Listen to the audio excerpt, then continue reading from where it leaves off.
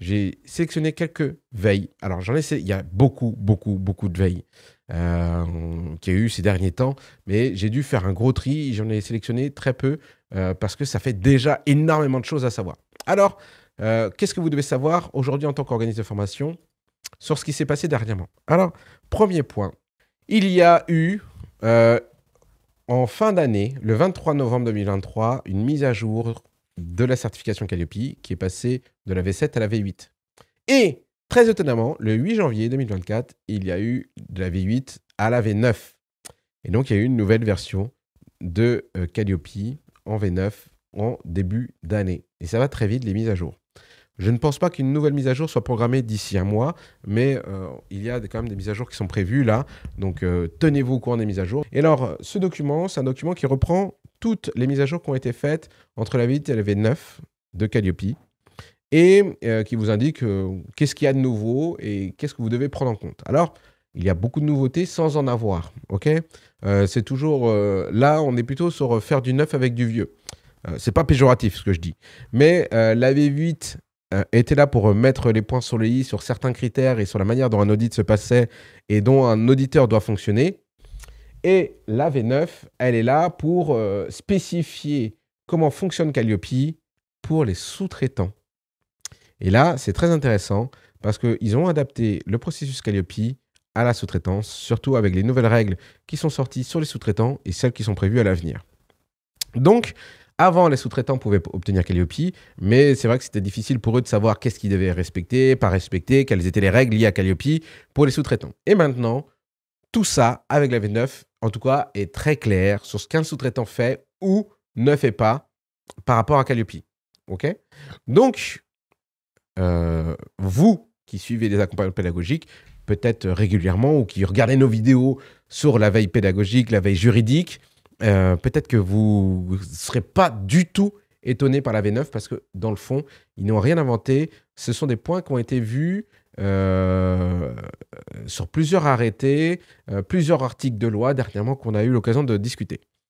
alors, sincèrement, le document, il fait quand même 43 pages, donc je ne vais pas faire les 43 pages avec vous aujourd'hui. Qu'est-ce que vous devez retenir de la V9 alors, la V8, on a eu l'occasion de la décrypter ensemble et j'ai eu l'occasion de vous donner un document. Euh, et ils étaient en train de préciser un peu plus ce qu'on attendait des gens. Et il y a dans la V8 eu une plus grande part de la prise en compte de, des personnes en situation de handicap, grand bien leur face euh, pour euh, la mise en conformité des organismes de formation pour le handicap. Et là, donc la V9, c'est vraiment la mise en conformité de Calliope pour les sous-traitants. Alors, les règles concernant la sous-traitance ne sont pas nouvelles. Euh, il y a déjà eu plusieurs décrets et de jurisprudence qui sont sortis dernièrement sur, la sous-traitances. Donc, vous ne devrez pas être étonné.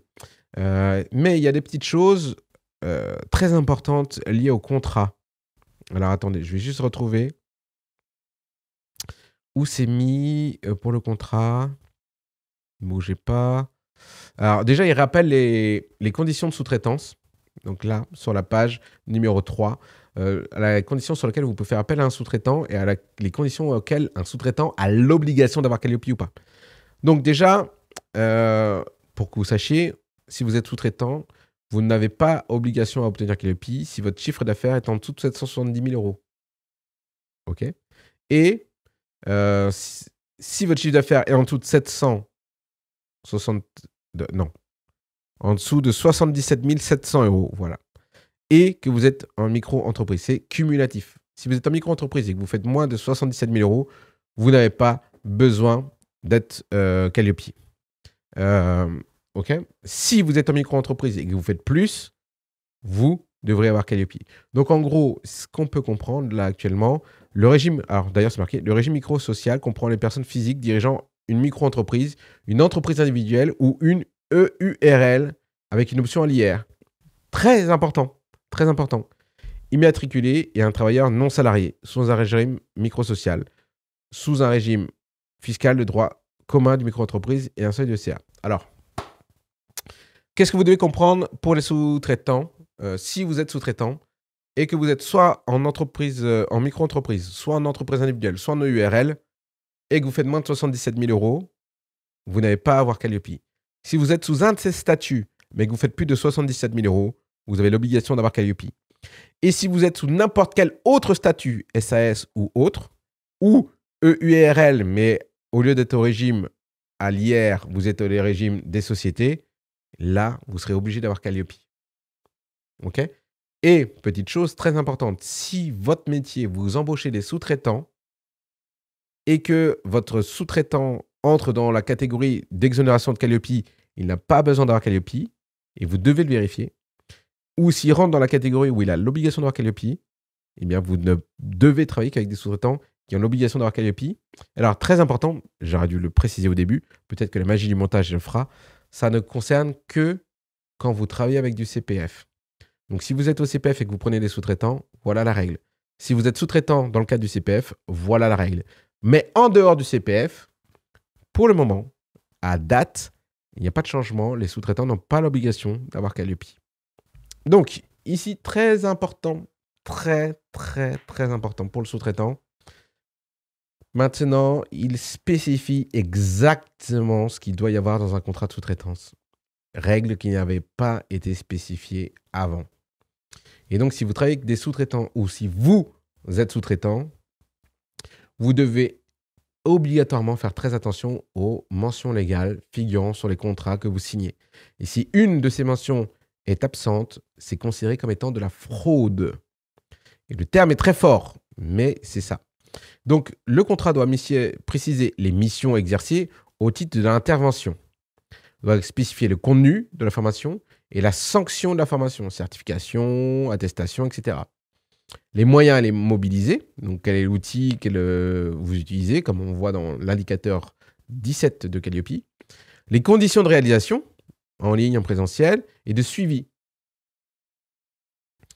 Et la durée, et la période, et le montant de la prestation. En gros, un contrat de sous-traitance aujourd'hui, c'est la même chose qu'un contrat ou une convention de formation. Ce sont les mêmes obligations. En gros, quand vous signez un contrat de sous-traitance avec un donneur d'ordre, le contrat doit quasiment doit spécifier toutes les mêmes mentions légales et obligatoires qu'une convention et un contrat de formation.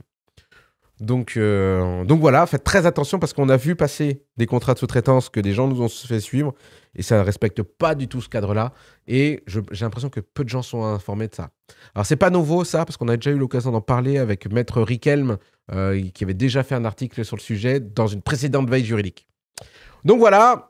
Ensuite, bon, bah, le, V9, euh, la V9 de Calliope dit en gros qu'est-ce que le sous-traitant doit avoir, qu'est-ce qu'il ne doit pas avoir pour passer l'audit et pour respecter Calliope. Je vous laisserai le temps de lire ce document. C'est très intéressant et très complet. En tout cas, voilà. Euh, deuxième point, très intéressant et important pour vous, euh, c'est l'annulation de la déclaration d'activité. Hop, bougez pas. Voilà. Alors aujourd'hui, on va voir cet article-là, très important. Annulation de la déclaration d'activité d'un organisme de formation. Quelles sont les règles qui permettent l'annulation. Et ça vient du tribunal administratif de Rennes. Bravo, c'est breton. Et c'est une décision du tribunal de Rennes du 3 novembre 2023 qui donne l'occasion de faire le point sur les conditions qui autorisent la DRETS à annuler votre NDA. Et alors, il y a quatre choses à savoir. OK? La première chose, c'est que quand la DRETS décide d'annuler votre NDA, c'est pas noté ici, mais ça va être noté un petit peu plus bas on va descendre. Ils ont 4 mois pour revenir en arrière. Euh, comment dire Pas pour revenir en arrière. Je reformule. Une fois qu'ils vous ont donné le NDA, ils ont 4 mois pour vous le retirer. OK? Euh, Parce qu'au-delà de 4 mois, ils ne peuvent plus vous retirer le NDA sans respecter un protocole très précis qui est très restrictif pour eux. Sauf dans le cas où vous avez fait une fraude à la déclaration pour l'obtention du numéro de déclaration d'activité. Alors la fraude, du coup, il y a des grandes chances qu'aujourd'hui, on va voir énormément de retraits de NDA uniquement pour fraude à cause de ce nouvel arrêté, de cette nouvelle décision du tribunal administratif. Mais en gros, maintenant, euh, pour que la DRET soit tranquille pour retirer un numéro de NDA, elle devra déclarer que vous l'avez obtenu de manière frauduleuse. Euh, sur un motif reposant sur une circonstance postérieure à l'enregistrement. Alors là, justement, c'est très flou ce que ça veut dire. Euh, et la troisième condition qu'ils peuvent le faire dans un des quatre mois, après les quatre mois, c'est motif reposant sur une circonstance que l'administration n'était pas en mesure de retenir à la date de l'enregistrement au vu de la déclaration d'activité préalable. C'est-à-dire qu'en gros, euh, euh, il y avait une condition, euh, comment je pourrais formuler ça Une condition qui fait qu'au moment où vous avez fait la déclaration d'activité, la n'a pas pu se rendre compte d'une chose qui était déjà présente lors du moment de la déclaration d'activité et vous a donné le numéro de déclaration d'activité sans avoir vérifié cette chose-là, mais elle était déjà présente. Et donc, euh, bah, normalement, vous n'auriez pas pu avoir le numéro de déclaration d'activité s'ils auraient eu l'opportunité de vérifier ce point-là. Donc, en gros, ça veut dire, euh, là, c'est la porte ouverte un peu euh, à l'adresse de dire, ben, le client ne nous avait pas informé de cet état de fait.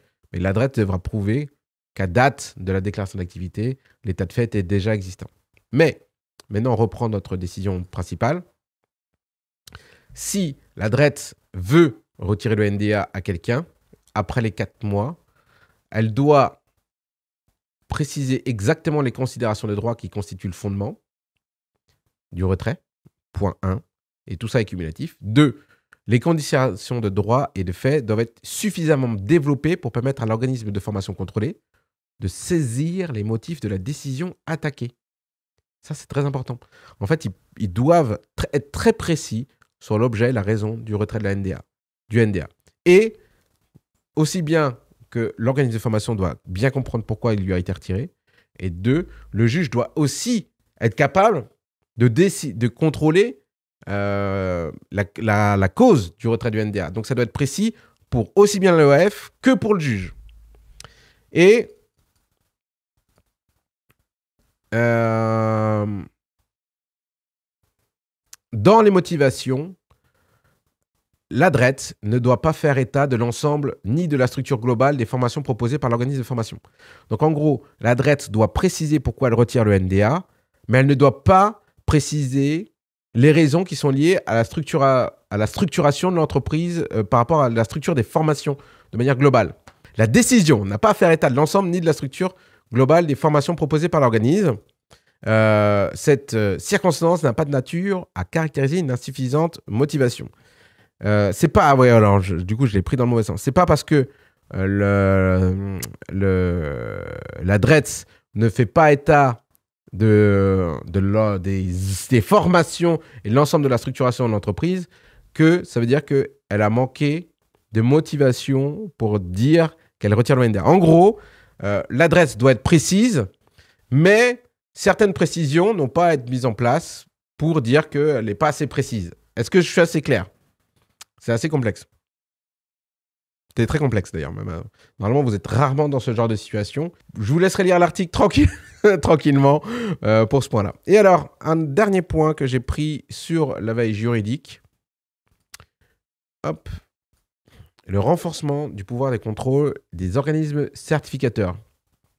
Alors Philippe, oui, c'est plutôt bon pour les OF. En gros, ça veut dire que l'adresse peut partir votre NDA n'importe comment, de manière sauvage, sans être très précis sur la raison pour laquelle elles veulent le retirer. Et euh, ça évite les dérives où, pendant une période, l'adresse retirait le NDA systématiquement à chaque contrôle. Euh, et du coup, c'est maintenant bien précisé les règles dans lesquelles elles peuvent le retirer. Euh, et donc, c'est tant mieux pour les centres de formation.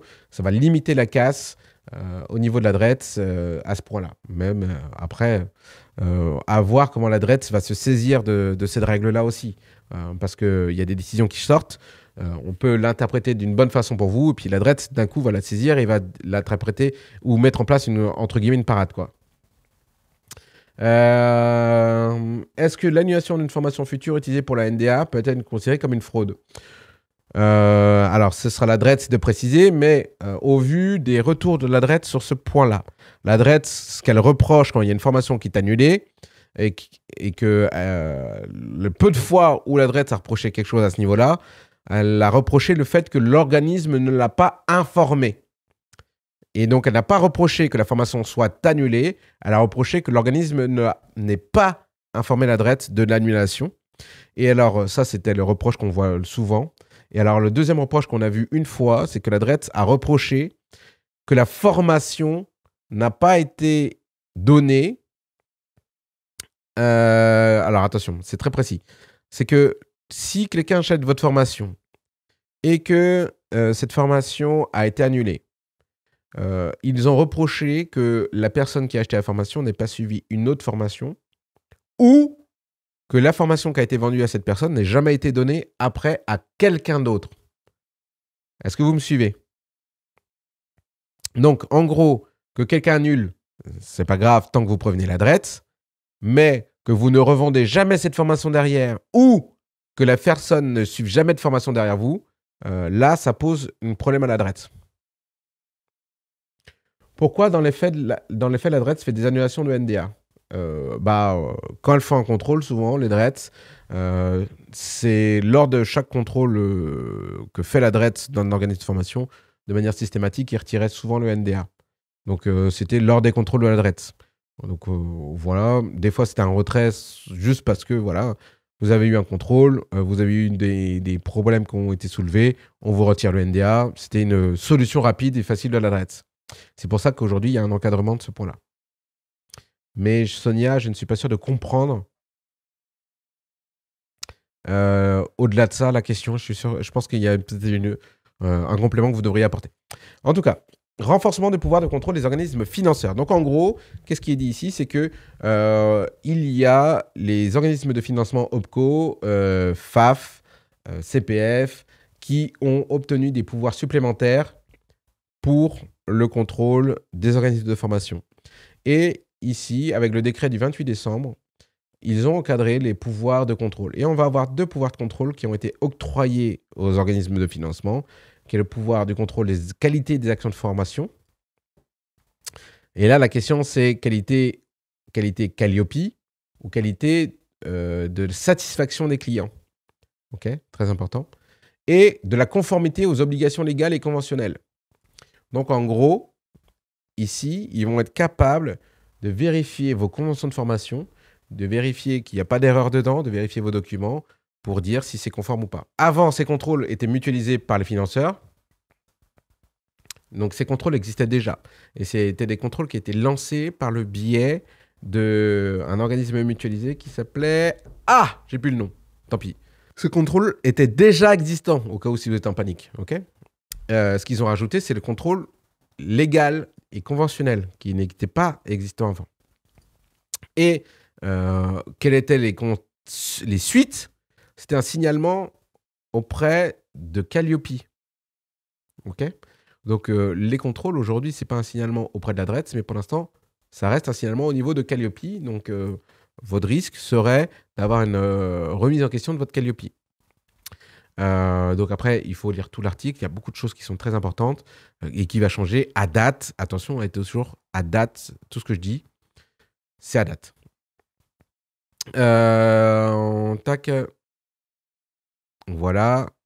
Et alors, euh, si il y a, alors voilà, suite des contrôles, donc signalement à Calliope, donc avec vous, la possibilité de perdre votre Calliope ou de avoir votre Calliope suspendu le temps que vous fassiez les corrections, très important, ou alors non prise en charge des financements, ok, ou, et là oui, signalement auprès de services de l'État, si, euh, bah, dans certaines conditions, euh, les signalements sont là.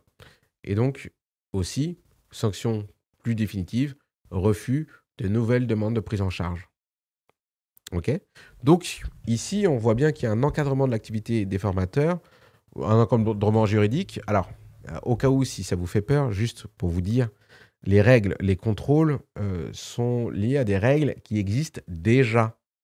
Donc, euh, c'est toujours très intéressant d'entendre dire oui, il y a plus de contrôles, mais si vous respectez les règles, il n'y a pas de souci.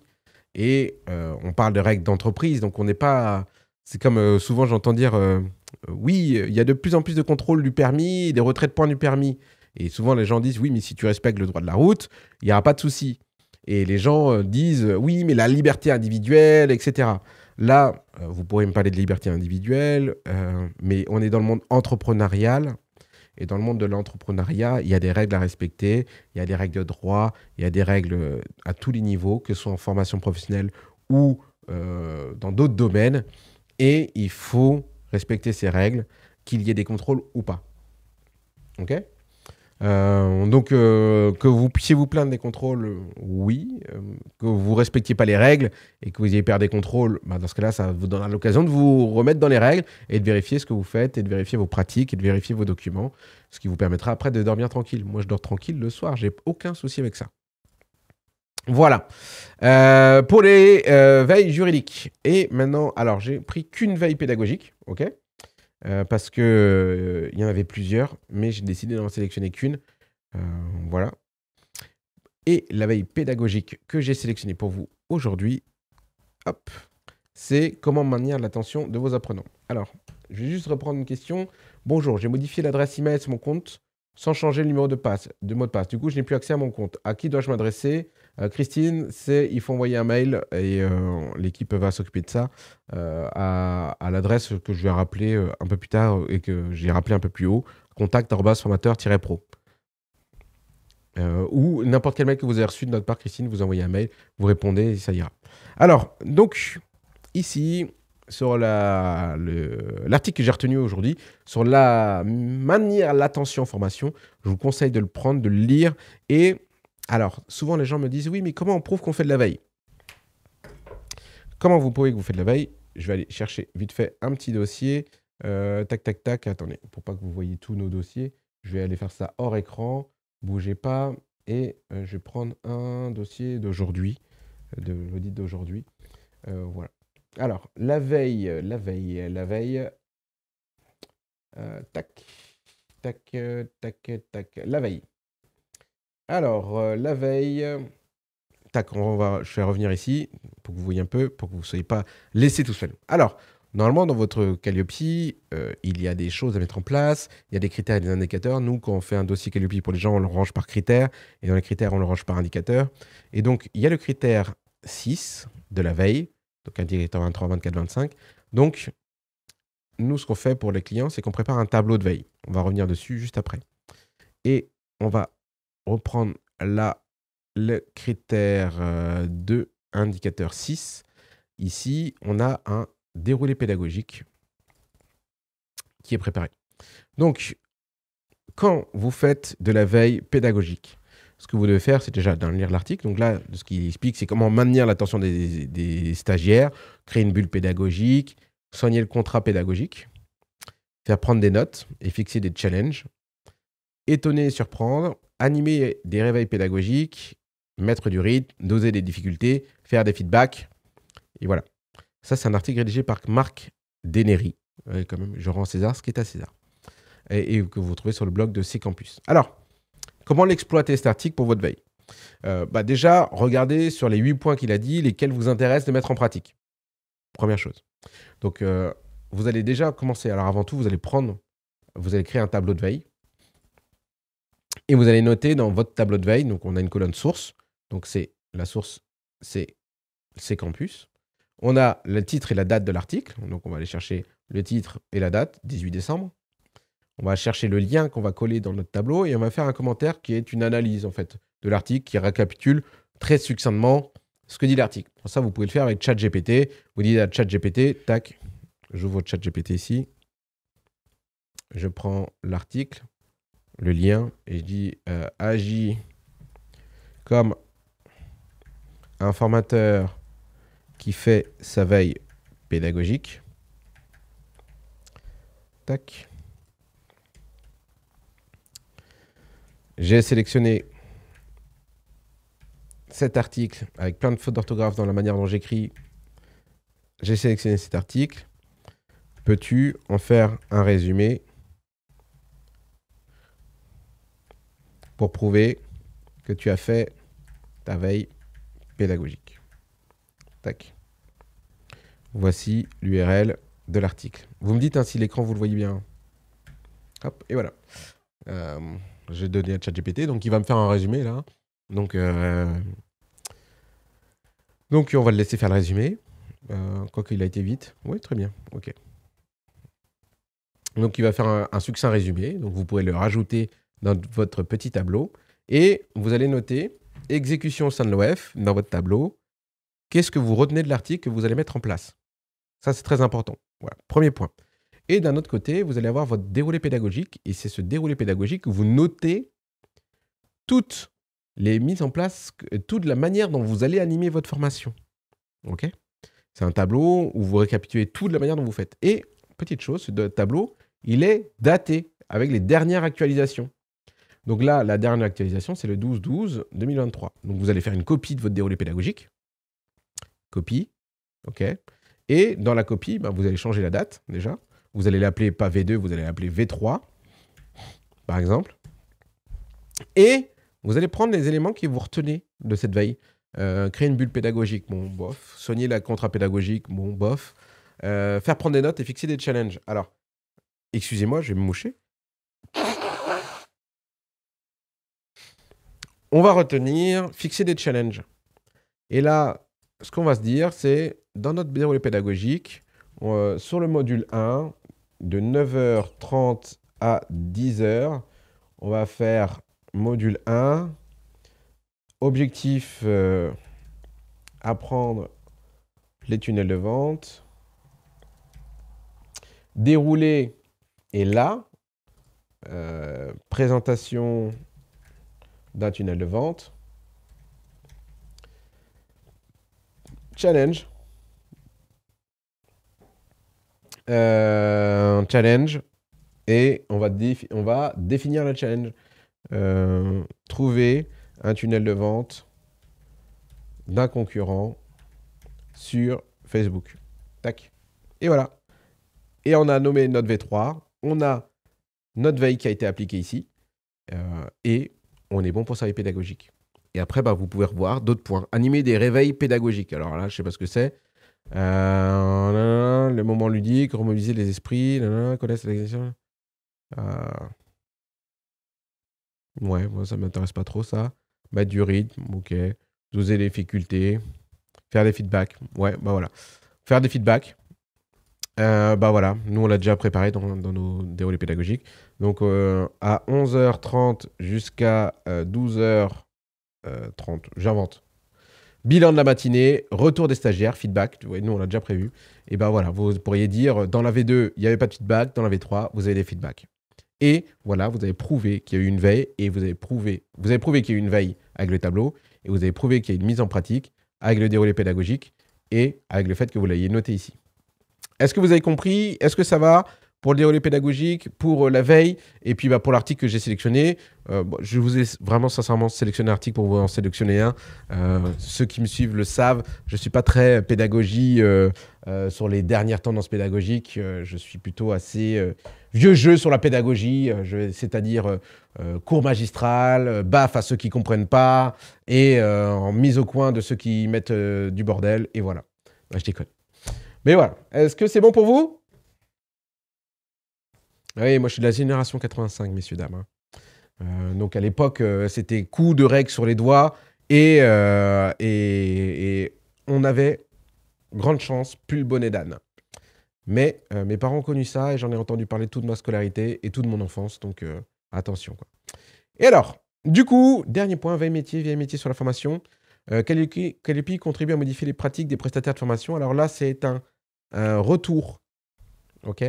On en a déjà légèrement parlé, mais ils l'ont décortiqué. C'est un article basé sur le retour qu'a fait la DARES le 22 novembre, donc l'article date du 29 novembre, sur une enquête qu'ils ont faite sur ceux qui utilisaient Calliope et les résultats que Calliope apportait aux organismes. Euh, et donc, ici, vraiment, c'est plutôt de l'information et euh, donc là, je vous le donne parce que c'est intéressant pour vous de connaître cette information-là. Donc, euh, euh, pourquoi les gens n'ont pas été voir, pourquoi les gens ne passent pas Calliope et pourquoi les gens passent Calliope. Donc, pourquoi vos concurrents passent Calliope et comment Calliope impacte les entreprises et quel impact ça a sur les entreprises et les organismes de formation. Donc ça, c'est très intéressant de le savoir euh, pour vous, pour votre structuration. Alors ça, c'est intéressant parce que j'étais avec euh, l'auditeur d'aujourd'hui et on parlait de notre structuration à nous, de notre organisation. Et euh, il nous disait, il nous donnait des idées de structuration que nous, on pourrait appliquer en termes de système qualité pour améliorer notre manière de travailler. Et c'est là où, moi, au départ, je l'ai pris bon, comme un nouveau cadre législatif à appliquer, et on y va, et très bien. Et il m'a réussi à me mettre en avant, bon, bah voilà, vous voyez ce collaborateur-là, comment elle fonctionne sa performance. Bah, ce collaborateur-là a une performance plutôt basse. Il dit, bah, quelle est les, la, comment, euh, est-ce que vous avez un document qui récapitule ce qu'il doit faire? Et dans quel ordre? Et les unités qui mesurent que ce qu'il fait est bon. Et là, je dis, bah non, on a, il sait ce qu'il doit faire, euh, il sait dans quel ordre, mais c'est vrai qu'on n'a pas une fiche qui récapitule ce qu'il doit faire, dans quel ordre il doit le faire et les éléments de mesure. Et donc là, euh, bah, je dis, ah oui. Et il me dit, bah voilà, premier point. Deuxième point, eh bien, euh, comment vous gérez le feedback de vos clients? Bon, voilà, un, processus Calliope. Il me dit oui, mais est-ce que vous êtes capable de mesurer que vous avez amélioré votre qualité? Je dis ben non, on n'a pas ça. et petit à petit, il m'a fait point, point par point de plusieurs points qui ne sont pas dans le référentiel Calliope. OK? Mais qui en découlent de la logique. Et donc, je me suis dit, mais en fait, oui, Aujourd'hui, on a tel niveau de performance et on pourrait scaler. Donc, c'est aussi là où je vous parlais tout à l'heure. Je vous ai dit, mon but, c'est de vous apprendre à scaler. Hop, je vais retrouver l'endroit où j'ai parlé de ça. Scaler votre entreprise. Donc, par exemple, aujourd'hui, on est capable, j'invente un chiffre, de prendre 50 clients par mois dans une de nos prestations. Et on s'est toujours demandé, mais pourquoi euh, sur certains clients il y a du retard, pourquoi d'autres il n'y a pas? Et en fait, euh, avec la discussion qu'on a fait, le point aujourd'hui avec l'auditeur Calliope avec qui on était, bah, il s'avérait que la personne qui était à un des goulots d'entraînement, de, un des goulots de, cette prestation, elle n'avait pas de protocole de travail.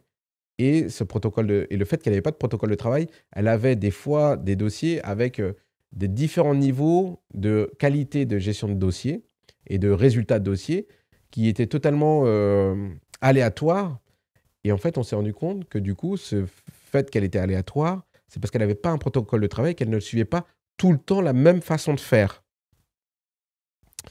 Et en fait, on a simplement noté la façon de faire idéale et on a mesuré le temps qu'il fallait faire pour faire chacun des points de cette façon de faire-là. Et on s'est rendu compte que si elle suivait cette façon de faire-là, elle traiterait chaque dossier en deux heures. Alors qu'aujourd'hui, elle met trois à quatre heures par dossier. Et c'est de l'automatisation de tâches. Euh, comme Nora le dit parfaitement. Et plus vous aurez automatisé chacune des tâches, plus vous réduirez le temps de gestion des tâches et vous améliorez la qualité de ces tâches. il me dit, bah, vous voyez, là, on vient d'automatiser une tâche. Maintenant, la deuxième étape, c'est de mesurer l'efficacité de cette tâche, c'est-à-dire combien de temps les gens mettent réellement euh, et est-ce que vous allez réduire le temps de gestion des dossiers et améliorer la qualité des résultats et le taux de satisfaction des clients. Et il dit, bah, attention, la qualité du résultat n'est pas forcément la qualité de satisfaction des clients.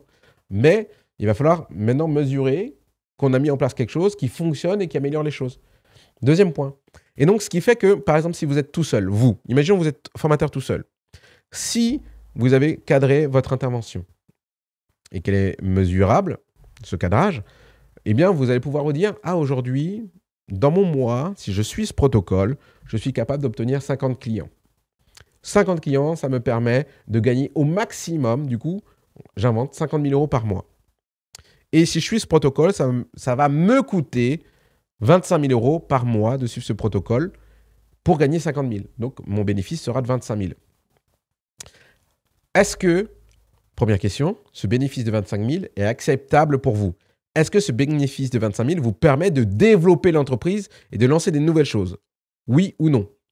Donc, si c'est non, c'est dans ce cas-là, comment vous pouvez améliorer ce protocole pour que le bénéfice soit plus large?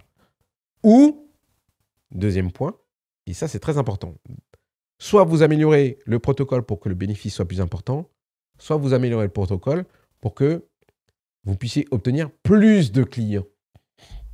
OK? Et donc, c'est là où, après, vous, en tant que chef d'entreprise, vous devez prendre des décisions. Premièrement, première décision, avoir un protocole. Deuxième décision, Comment améliorer ce protocole? Dans quel sens? Dans le sens de l'amélioration du bénéfice ou dans le sens de l'augmentation la du client? Par exemple, nous, on pourrait dire, bon, bah, ok, aujourd'hui, une personne peut produire 50 clients par mois.